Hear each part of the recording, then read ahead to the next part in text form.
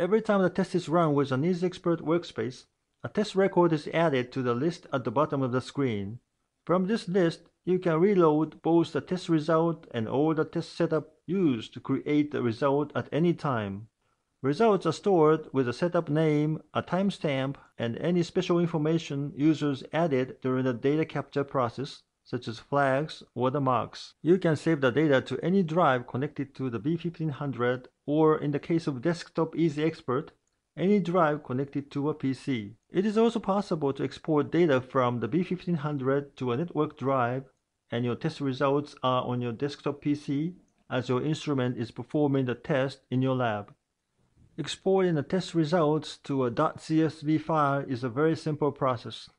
To do this, the user will first select the data file from the list, then right-click and select Transport Data, and then select one of the CSV export options.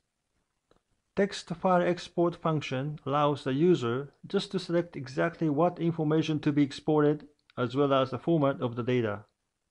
In this example, the action is the data to be exported to a folder on my desktop.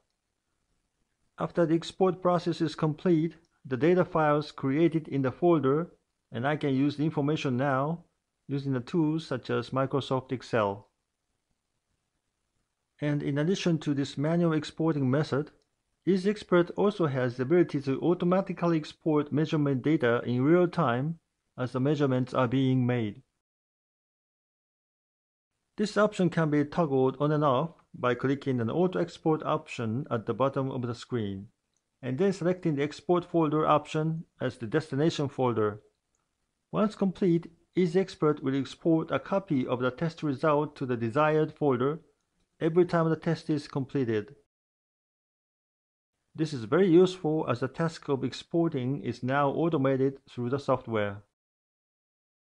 Because the B1500 is network ready, you can even choose a network drive as the destination folder, which allows you to use the test result at a separate desktop PC when instrument is performing a test in the lab.